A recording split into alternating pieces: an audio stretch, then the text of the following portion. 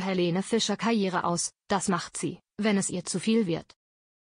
Helene Fischer, 38, Schlagerrakete, Schlager-Superstar. Ihre Musik verkauft sich wie geschnitten Brot, Hits pflastern ihren Weg. Ihre Tourneen sind gigantisch. Sie hat Familie. Wird der Mutter einer kleinen Tochter das zu viel? Kürzlich wurde sie das neue Werbegesicht von Lidl und drehte mit der Kette einen aufwendigen Spot. Es gab Kritik und viel Lob für das Projekt. Der Gedanke, Musik zu machen und auf der Bühne Millionen von Fans zu begeistern, das war immer Helenes Traum, der vor einigen Jahren Wirklichkeit wurde. Ohne Musik, Bühne und den Kontakt zum Publikum kann sie sich kein Leben vorstellen. Ich kann mir ein Leben ohne Musik nicht vorstellen.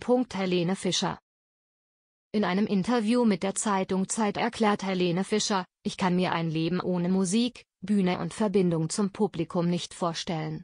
Trotzdem ist sie bereit aufzuhören, wenn die Zeit reif ist, aber ich glaube trotzdem, dass ich den Moment nicht verpassen werde, indem ich sage, jetzt reicht's langsam.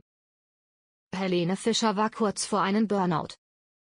Kurz vor der Corona-Pandemie 2019 sei sie nach eigenen Worten kurz vor einem Burnout gewesen. Ich habe Gott sei Dank noch die Kurve gekriegt, sagte Helene Fischer in einem halbstündigen Interview im Schweizer Fernsehen SRF. Wenn man als Künstler keine Emotionen mehr so richtig empfindet, wenn man alles nur noch als anstrengend empfindet, muss man ehrlich zu sich sein und auf die Bremse treten.